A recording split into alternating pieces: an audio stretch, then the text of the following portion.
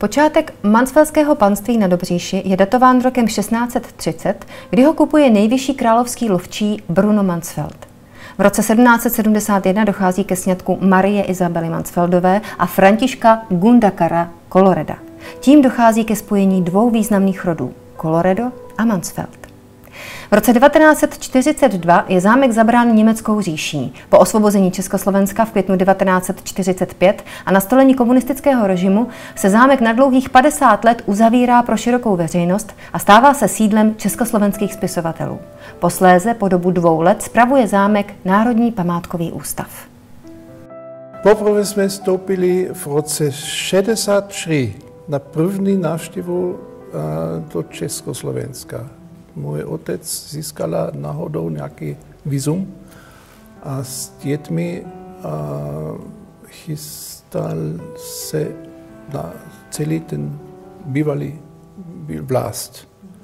A jsme procházeli tady venku na Jeronimov, Jeronimovo štáse, ulici. Přesně. A jenom trošku za za um, seď jsme trošku viděli jeho uh, bývalý dům. Ja. V roce 1998 je v rámci restituce zámek vrácen původním majitelům, rodině Coloredo Mansfeld. Mm, já si pamatuju, když jsme tady poprvé spali v tom domě, tak jsme přišli do úplně prázdného pokoje, obrovského, který je teď naše ložnice a tam stály dvě takové přistýlky ve prostřed a jinak tam nebylo nic, žádný závěsy, žádný, nic, vůbec nic. A vlastně to bylo legrační. První myšlenka byla Ježíš Maria, co s tím? Jak to financovat? Tak uh, jsem, uh, jsem uh, šel do velkou jakovské firma, který se stará o zámek Schönbrunn a jsem zeptal, jak to, jak, co mám tady dělat. Řekli, no postupně krok za krok musíte něco dělat. To bylo nejlepší beratung, also poradce, který jsem dostal v tomto smyslu. 20 let pracujeme krok za krok. Eh, krok po kroku se snažíme s paní Líví a s panem Jerome Colorado Mansfeldem stále zlepšovat technický stav našeho areálu tak, aby jsme patřili mezi jednu z nejkrásnějších lokalit v České republice. Hodně podobný stav byl na mnoha lokalitách a místech zámku Dobříš, ať už to byla zcela rozbořená fontána napájení heliových koní, špatný stav střech na zámku, eh, velice špatný stav ubytovacích kapacit. Nacházíme se v oranžerii, tady nás čeká samozřejmě ten největší díl práce, čeká nás tady budoucnost dvou až tří let eh, celoroční ústavičné práce. Jedná se o projekt IROP, integrovaný regionální operační program, eh, kde jsme uspěli v dotaci Ministerstva pro místní rozvoj. Samozřejmě nebudeme rekonstruovat pouze tento areál, eh, sklení, skleník oranžerie, budeme rekonstruovat všechny opěrně stěny ve francouzském parku, závlahový systém, eh, sochařskou výzdobu a mnoho dalších prvků, které se týkají oranžerie a francouzského parku. Pavel Krejcárek, ředitel zámku, společně s Michalem Parnicou, ředitelem firmy Colorado Mansfeld, jsou dvě jistoty dobřížského panství.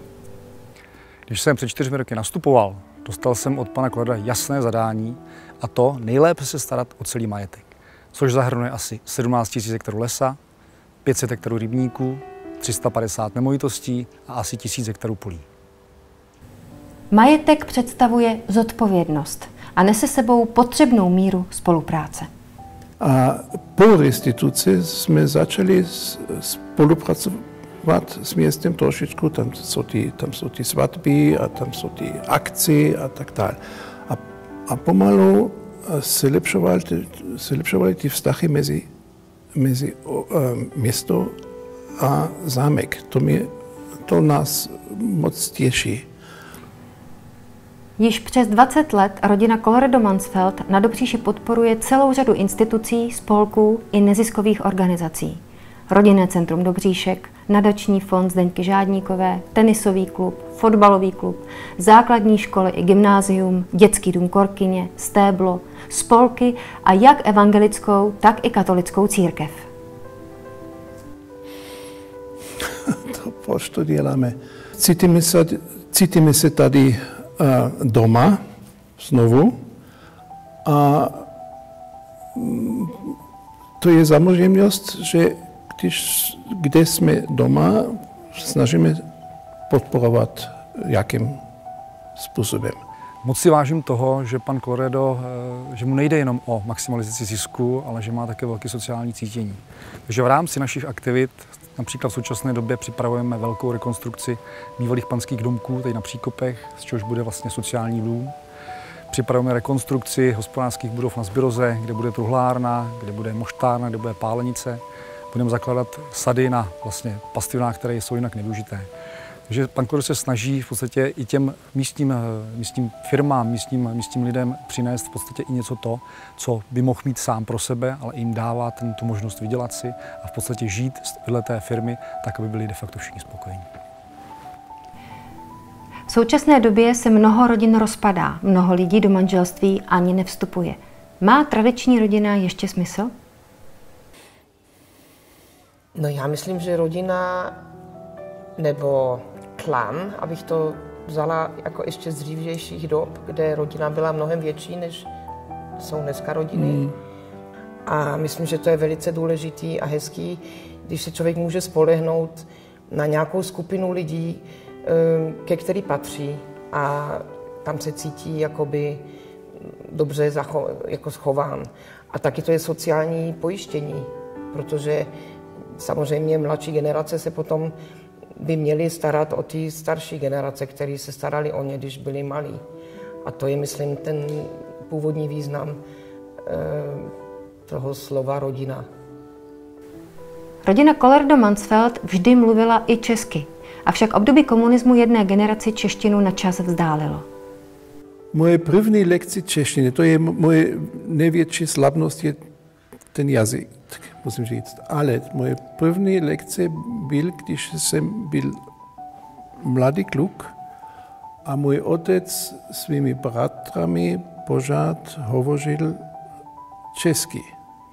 Ale jak jsem řekl, to první lekce byly jako, jako dítě, ale mm, jenom jsem, jsem eh, dostal pár slov a ty, ty, ty slovy nejsou moc uh, obvykle, jo, ty jsou trošičku, no, to jsou šimfworty, wie sagt man? Sprostý, Ale to bylo mi první akce. A potom um, od, od, od roku 90 uh, něco se pořád se snažím se učit česky, ale to je strašný problém pro mě, musím, protože nejsem, nejsem velký talent. Příběh každé rodiny má svůj začátek v seznámení. Můj strýc Vikard a jeho bratr Bedřich, můj otec, byli mm, dlouho leta známí a přátelé s e, tvým s mojí maminkou. maminkou. A po emigraci mojí uh, tvé rodiny uh, jí pomohl trošičku. A jednou potom večer zvonil telefon u nás a moje maminka řekla, že, že Rom Colorado je u telefonu a já jsem, chtěla, já jsem řekla, no co chce. No a že on má nějaký divadelní lístky a tak jsme šli do divadla. No a teď tady sedíme. Teď tady sedíme. Teď sedíme.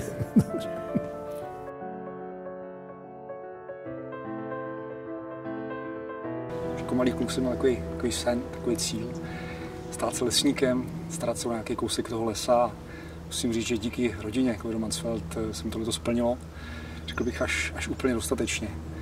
Ale je tady ještě něco víc, čeho si vážím mnohem víc než, než vlastně té profese. A je to vlastně ten neuvěřitelný přístup eh, jak pana Kloreda, tak jeho, jeho paní, paní Livie. Jednak ke mně, k mé rodině, ale zejména k mým kolegům, k mým spolupracovníkům, kteří se nějakým společným úsilím snažíme eh, plnit přání a vize, vize majitelů, vize vlastně rodiny Kovedomaců. Rodina Colorado Mansfeld pro mě znamená návrat tradičních hodnot, které tady chyběly před rokem 1989. Je to vztah založený na důvěře, vzájemné toleranci a o tom, že dané slovo platí podáním ruky.